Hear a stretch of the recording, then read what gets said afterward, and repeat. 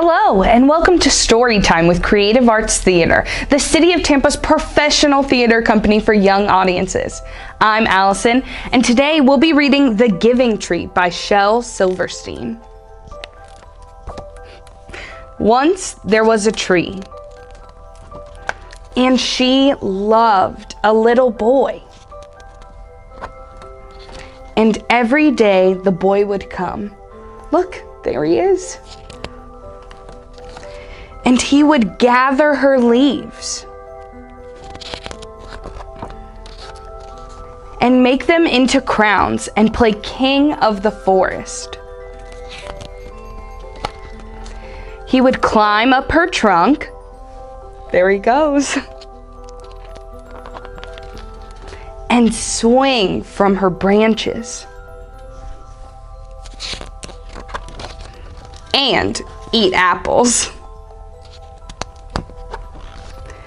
And they would play hide and go seek. And when he was tired, he would sleep in her shade. And the boy loved the tree very much. And the tree was happy. But time went by. He's gotten a little older. And the boy grew older. And the tree was often alone. Then, one day, the boy came to the tree, and the tree said, Come, boy, come and climb up my trunk, and swing from my branches, and eat apples, and play in my shade, and be happy. I am too big to climb and play, said the boy. I want to buy things and have fun. I want some money. Can you give me some money? I'm sorry, said the tree, but I have no money. I have only leaves and apples. Take my apples, boy, and sell them in the city. Then you will have money and you will be happy. And so the boy climbed up the tree and gathered her apples and carried them away, and the tree was happy. But the boy stayed away for a long time, and the tree was sad. And then one day the boy came back, and the tree shook with joy. And she said, Come, boy, come climb up my trunk and swing from my branches and be happy. I am too busy to climb trees, said the boy. I want a house to keep me warm, he said. I want a wife and I want children, and so I need a house. Can you give me a house? I have no house, said the tree. The forest is my house. But you may cut off my branches and build a house. Then you will be happy. And so the boy cut off her branches and carried them away to build his house.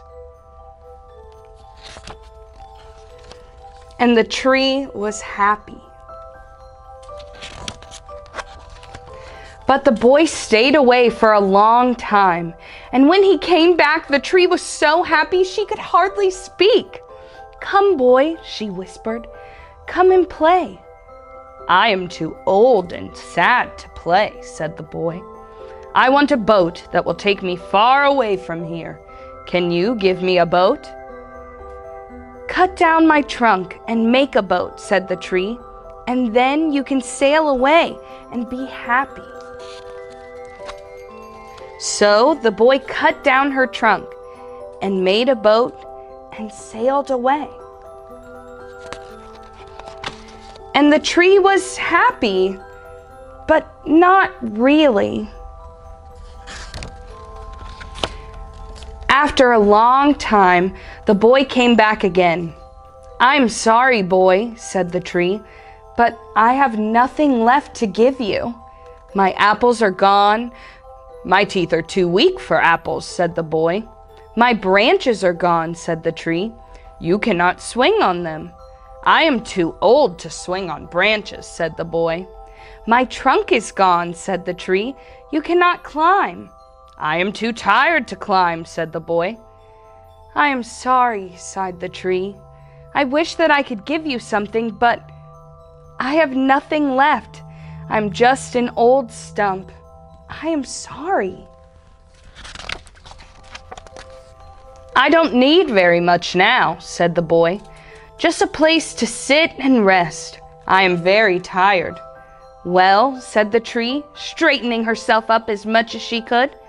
Well, an old stump is good for sitting and resting.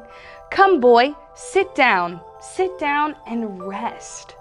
And the boy did. And the tree was happy. The end.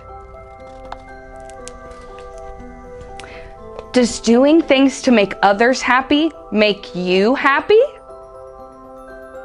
We were told in this story that the tree is happy five different times. What do you think made the tree happy? In this story, the tree is always referred to as a she. Why do you think that is? Thank you for reading with me today. For more information about Creative Arts Theater, you can visit www.tampagov.net slash theater. Thank you for joining me for another Creative Arts story time. See you again soon. Bye.